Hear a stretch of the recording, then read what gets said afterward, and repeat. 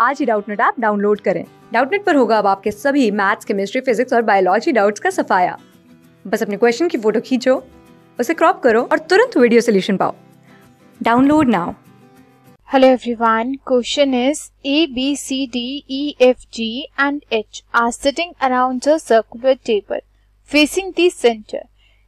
अब हमें यहाँ पर अभी तक क्वेश्चन में क्या कहना है कि A B C D E F G H जो है एक सर्कुलर टेबल पे बैठे हैं तो सबसे पहले हम काउंट करेंगे कितने मेंबर्स हैं। One two three four five six seven eight eight members हैं। ओके तो यहाँ पर हम एक सर्कुलर टेबल कंसिडर कर लेते हैं। तो ये हमारा सर्कुलर टेबल हो गया।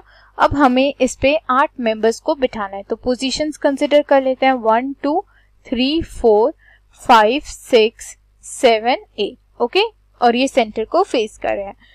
आगे हमें क्या गिवन है? That is A sits third to the left of C and second to the right of E अब ए जो है वो कहाँ बैठेगा? Third to the left of C तो हमें क्या करना है? कहीं पर भी सी को कंसिडर कर लेना है। ठीक है?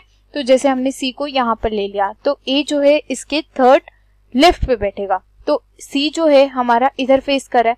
दैट मीन्स ये इसका राइट right, ये इसका लेफ़्ट तो फ़र्स्ट सेकेंड थर्ड तो यानी थर्ड लेफ़्ट यहाँ पर होगा तो यहाँ पर कौन बैठेगा? ए बैठेगा, ठीक है? And second to the right of E और किसके सेकेंड राइट पे? ई e के। तो यहाँ पर जो पर्सन है, वो इसके, उसके ये राइट पे होगा, ठीक है? तो यानी कि ई e को कहा बैठना होगा? यहाँ बैठना होगा, तभी तो इसके सेकेंड राइट पे ए होगा, ठीक है? आगे क्या गिवन है हमें? B sit second to the right of D who is not an immediate neighbour of E अब यहाँ पर हमें क्या गिवन है कि बी जो है वो कहाँ बैठेगा? Second to the right of D अब बी जो है वो डी के सेकेंड राइट पे बैठेगा। ये श्योर है who is not an immediate neighbour of E जो कि ई e का इमीडिएट नेबर नहीं हो सकता। यानी कौन नहीं हो सकता? डी नहीं हो सकता। तो यानी कि इसका मतलब क्या हुआ? कि हमारा जो डी है वो इस पोजीशन पे नहीं आ सकता और इस पोजीशन पे नहीं आ सकता। ठीक है? तो पोजीशंस कौन सी बची? हमारे पास ये पोजीशंस बची। ओके अब हमें साथ ही ये भी बोला गया कि B sit second to the right of D अगर हमने बी डी को यहाँ पे बिठाया, ठीक है?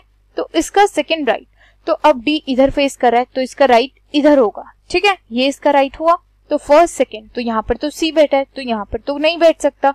तो डी का पोजीशन ये पॉसिबल नहीं है। तो यानी डी का पोजीशन क्या पॉसिबल है? डी को अगर हम यहाँ पर कंसिडर करें तो इसका राइट ये होगा तो फ़र्स्ट सेकेंड सेकेंड राइट पे कौन बैठेगा?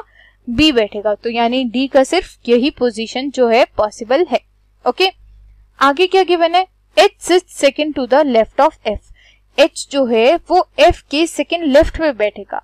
And G is not an immediate neighbour of D और जी जो है, वो डी का इमीडिएट नेबर नहीं होगा। तो यानी जी जो है, हमारा यहाँ पर पॉसिबल नहीं है। ठीक है? इन पोजीशंस पे जी पॉसिबल नहीं है। तो जी के लिए हमारी ये दो पोजीशंस हुई। अब हमें क्या कहा जा रहा है कि H sit second to the left of F H जो है एफ़ के सेकेंड लेफ़्ट पे बैठेगा ठीक है? अगर हम किसी मेंबर को यहाँ पर कंसिडर करते हैं फॉर एग्ज़ाम्पल हमने एफ़ को यहाँ पर कंसिडर करा तो ये इसका राइट right, ये इसका लेफ़्ट तो सेकेंड लेफ़्ट पे कौन बैठेगा? एच बैठेगा ठीक है? तो फ़र्स्ट सेकेंड यहाँ पर एच आ गया तो जी को यहाँ बैठना पड़ेगा। यानी कि ये पोजीशन जो है पॉसिबल नहीं है। एफ़ यहाँ नहीं बैठ सकता। तो एफ़ को कहाँ बैठना होगा? एफ़ अगर हमारा यहाँ पर बैठता है तो यानी कि इसका लेफ़्ट ये है तो यानी एच हमारा इधर बैठेगा। और एफ़ यहाँ हो गया एच इसके सेकेंड लेफ़्ट पे, और जी का पोजीशन कहाँ जाएगा? यहाँ जाएगा। सो ये अब हमारा सिटिंग अरेंजमेंट सारी कंडीशंस के साथ कंप्लीट हो गया। सो अब हम अपने क्वेश्चंस की ओर प्रोसीड करते हैं।